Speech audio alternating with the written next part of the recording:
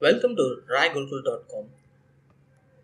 In this video, we'll explain you about release in Rally. So, this continuous playlist is created for Rally session where we have started with introduction till we can also say that from zero to expert. So, if you are looking to understand each and every concept about Rally or CA Agile Central in detail, please continue to watch the complete session so you are able to understand each and everything in detail.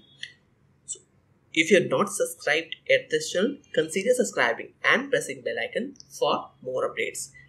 Let's begin with today's agenda. Then we'll move further on practical part. We discuss here what is release, how to create a release inside the Agile Center login and how to edit or update the release in your project. So let's start about what is release.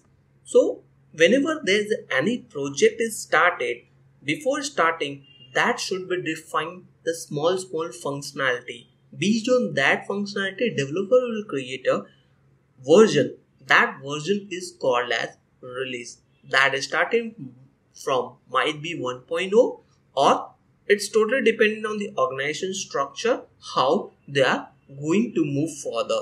So for creating any specific release number inside the agile center first you have to log in inside the agile center select your project. After selecting your project just click on time box.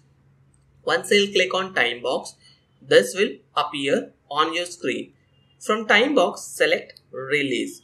After selecting release, just click on create where you have to select your project name. So whatever project is available inside your login credential, you can select this.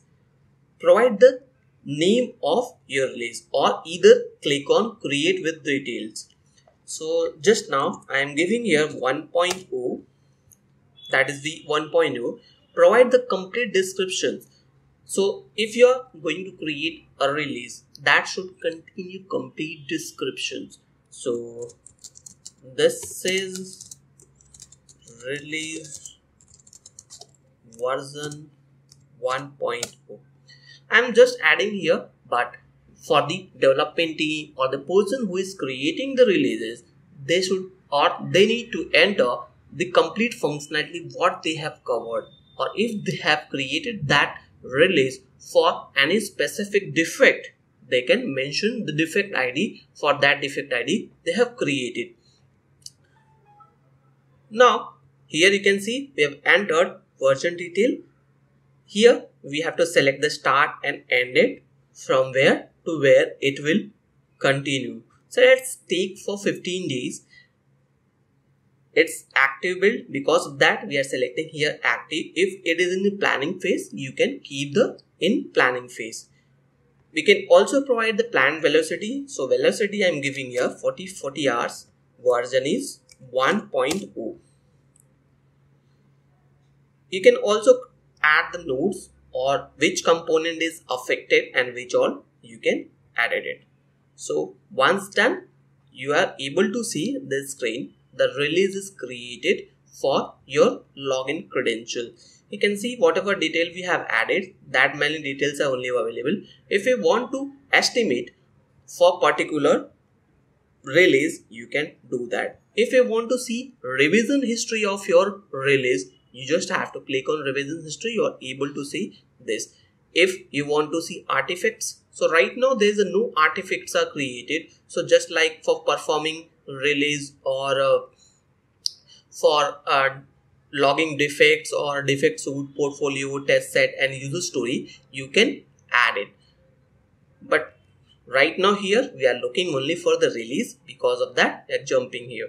So once the release is created you can see inside the plan phase where you can select it and edit it according to your need. If you want to select or name or field you can update the specific field once you enter the apply button will be enabled for you so once you enter the detail and click on apply that up the detail you want to update it will be updated. So this is for the bulk operation also. If you have multiple uh, releases available here, you can edit it. If you want to delete any specific release, you can select and delete easily. If you want to put enter on start or end date when you have n number of releases, you can do that. If you want to link your particular release version with any other specific user story, you can do that. If you want to extract or see the report when you have multiple releases are available, you can extract it and see the detail. So this is how we can create the release and update the detail or make the changes on particular release which is very much easy and possible to do that. So that's all about creating a release or up, updating the detail of release in agile central or rally. Hope you liked it. If you really enjoyed this session consider subscribing and pressing bell icon for more updates. Thank you for watching